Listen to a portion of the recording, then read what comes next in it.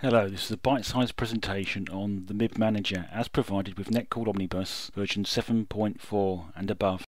The MIB Manager allows MIB files to be imported and exported to a number of different formats including Netcool Knowledge Library format rules files and standalone rules files. The imported MIBs can also be used to send traps based on the MIBs to a target host and port. This allows the exported rules files to be tested for trap reception and displayed in the Netcool Omnibus event list.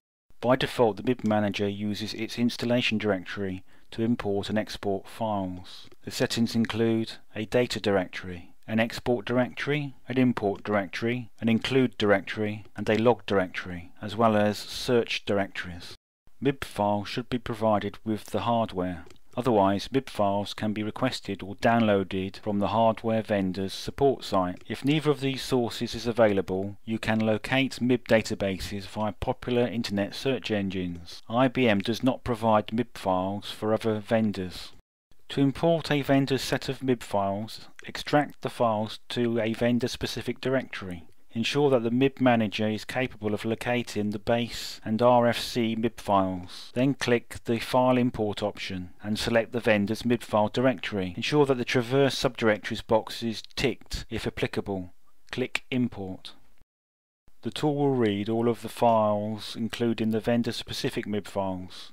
A pop-up window will indicate how many traps were found and if there were any errors. Close the pop-up window and review the imported MIBs, checking that they are correct.